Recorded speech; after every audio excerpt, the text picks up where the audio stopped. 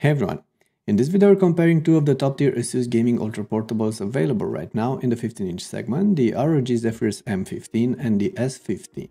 Sure, the S15 is the higher tier product with a few extra features and more powerful hardware specs, so if you're shopping for an RTX 2080 Super configuration, that's only going to be available in the S15.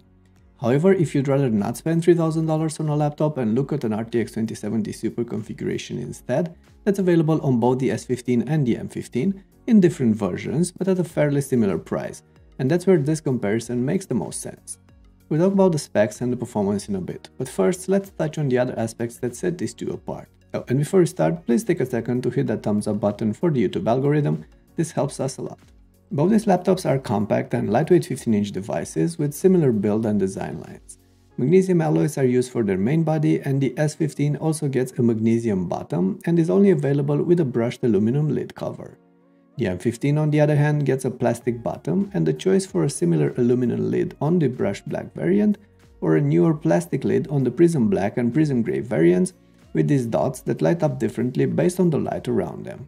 I prefer this newer design with the redesigned ROG branding and the screen also feels slightly stronger on this variant. However, as you'll notice here, the S15 sits flush on the desk when closed and the back part lifts up when opening the lid. That's what ASUS calls the AAS cooling system, which raises the laptop's back in order to improve airflow underneath and implements a piece of metal that isolates the fans and the hot running components from the user, allowing the bottom to feel slightly cooler when running games. That's noticeable in the thermal readings, but don't forget that this is more or less an illusion, as the hot parts are hidden behind the AAS flap, and in reality the interior and components actually run marginally hotter on the S15. That's especially the case with the storage drives. The open plastic back design of the M15 includes air grills over the storage units, which allow for better venting, but there are none of those on the S15, and as a result the SSDs run at 10 to 15 degrees Celsius hotter on this notebook. The S15 is also a tad more difficult to open up, as you have to remove the AAS flap first before you can take out the entire bottom panel. ASUS also uses several screw sizes on both of these laptops, so if you plan to open them up, make sure to note where each comes from so you can put them back in the right place. Finally, this sort of design also makes the S15 unusable with the lid closed when hooked up to an external monitor, while the M15 works well in this way or placed in a vertical stand. This aside, the two are similar in terms of functionality and ergonomics, with grippy rubber feet on the bottom, blunted interior edges, solid screen hinges, and the I.O. line on the sides. Both include most of the required ports, with Thunderbolt 3 support as a novelty for the 2020 generation, but both still lack a card reader, an integrated camera, or any sort of biometrics. There's one more specific particularity of the S15 that I have to mention here, the integrated RGB lights within the AAS system. They're fairly subtle and some might appreciate them, however ASUS does not offer individual control over these lights.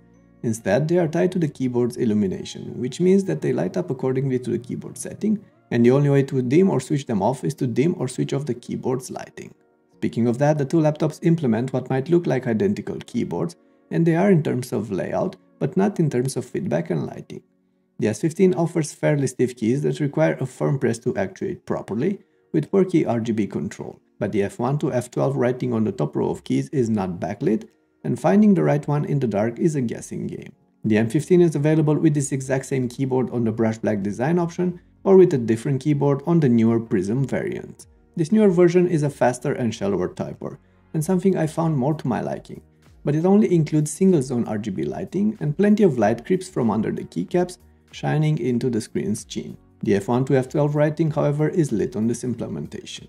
For mouse, both get a rather small glass clickpad with precision drivers, sturdy construction and decent clicks. It's okay, not great. As far as screen options go, the Zephyrus S15 is obviously targeted towards gamers with a Full HD 300Hz panel as the single available option in most regions. It's a fine panel for daily use and excellent for gaming, with fast response times, roughly 300 nits of brightness and 100% sRGB color coverage. ASUS also implements a G-Sync mode on this laptop. A software toggle available in Armoury Crate allows to choose between hybrid with Optimus or discrete with G-Sync modes with a restart in between. This is not an option on the M15 models, which lack the required hardware switch and only offer an Optimus mode. However, the M15 is a potentially more versatile product available with either Full HD 140Hz or 240Hz screens for gamers, or a 4K UHD screen with 100% Adobe RGB color coverage for creators and professionals that require a color-accurate display. Stay away from the 140Hz screen option, that's probably the washed out variant also available on the base level Zephyrus G15. Instead, if you're into gaming, go for the 240Hz 3ms panel option, it's nearly identical to the 300Hz option on the S15 in terms of brightness, colors and specs. The UHD screen is more color accurate, sharper and brighter at 400 plus nits, but also a more expensive option that will take a toll on the battery life. Both these laptops get the same 76 Wh battery, pretty much the smallest in their niche, so don't expect more than 3 to 5 hours of daily use and 6 to 8 hours of video on Optimus. They both ship with 240 watt power bricks in the higher tier configurations, required to power the components, but also support USB-C charging. Both also get the same audio systems with middling quality bottom firing speakers, but excellent headphone audio with the help of the integrated Sabre Hi-Fi DAC. And you'll most likely want to use headphones on these laptops to cover up their fan noise when playing games. Okay, with all this out of the way, let's talk specs and performance. Both these lineups are based on 10th gen Intel Comet Lake hardware with up to DDR4 3200 MHz memory and dual storage with RAID support as well as NVIDIA graphics. While Asus mentions 6-core and 8-core CPU options for both the M15 and the S15, right now the S15 is available with an 8-core i7 10875H processor, while the M15 only ships with a 6-core i7 10750H CPU. Furthermore, the S15 is available with a full-power RTX 2070 Super 150W Max-P GPU on the lower tier model and an RTX 2080 Super Max-Q chip on the top tier configuration, while the M15 tops at a 2070 Super Max-Q graphics chip. Thus, the S15 offers faster CPU and GPU options. But let's see how this translates in benchmarks, real-life workloads and games. We've reviewed the RTX 2080 Super Max-Q version of the S15 and the RTX 2070 Super Max-Q version of the M15, and we've also included our results from our reviews of the RTX 2070 Max-P in the 2019 Zephyrus S as well as the RTX 2070 Super Max-P and the 2020 Asus ROG Scar 15 for comparison. We ran a couple of different tests on our review units from the standard synthetic benchmarks such as Cinebench or Geekbench to Blender SPECviewperf Handbrake which simulate real-life work with professional applications and video encoding. We've also ran the combined 3D Mark tests and gathered all our results in this chart.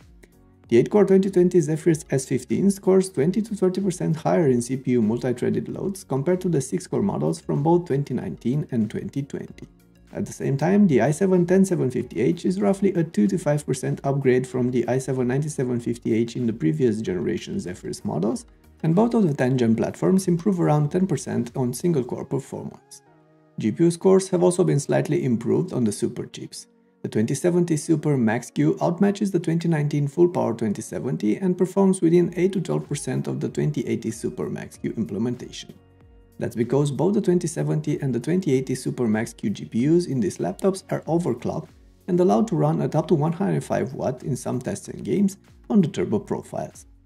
Benchmarks aside, all these notebooks provide consistent performance in longer duration loads but with high CPU power settings.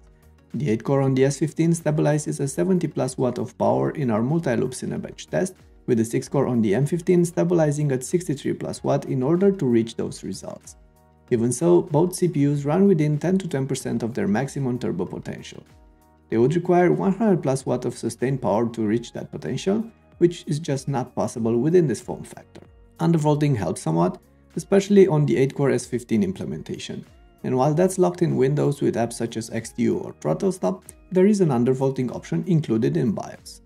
Now, as far as gaming goes on these laptops, we ran a couple of titles and gather our findings here. Take a moment to go through them. As mentioned earlier, the S15 comes at the top of the ladder here, thanks to the overclocked RTX 2080 Super implementation running at up to 105 watt, and undervolting the CPU helps squeeze a few more frame rates here and there, as the cooler CPU allows for extra headroom for the GPU. However, the RTX 2070 Super configuration in the M15 ends up within 10% of the S15 model at a fraction of the cost. As for the full power RTX 2070 Super in the ROG Scar, that performs somewhere in between the 2070 and 2080 Super Max-Q implementations in the Zephyrus models, so you should expect about the same from the RTX 2070 Max-P variant of the S15. Now, as far as thermals and noise go, both the S15 and the M15 run fairly hot and noisy with games. The fans ramp up to about 50 to 52 dB at head level on the turbo modes, and the CPU averages low to high 80s in most titles, with the GPU averaging low 80s to high 70s on both notebooks. Both laptops also offer quieter and lower performance profiles.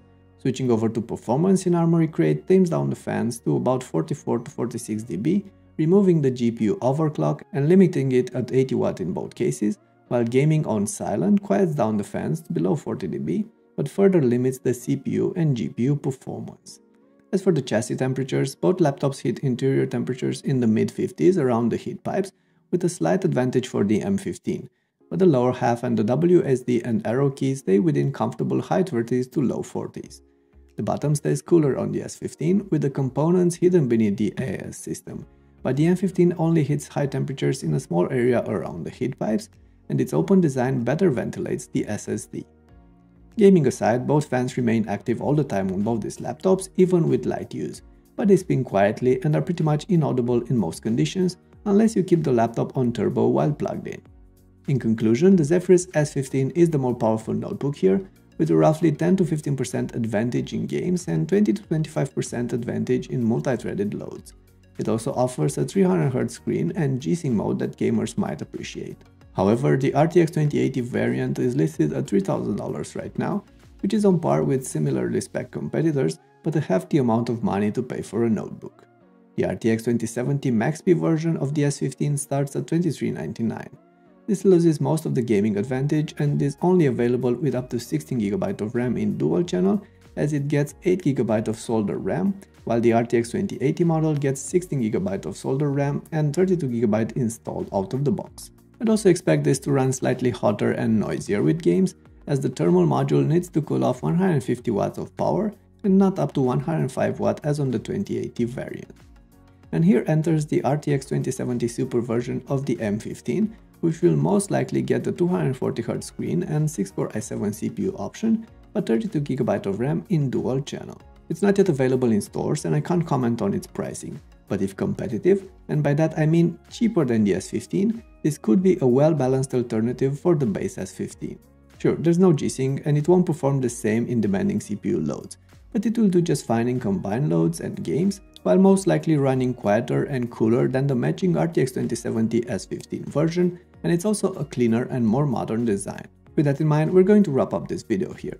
I'd love to hear your thoughts on these products though, so get in touch in the comment section with your feedback and questions, and of course, make sure to hit that thumbs up button if you enjoyed the video and subscribe to our channel to get notified when we publish more clips. Catch you later.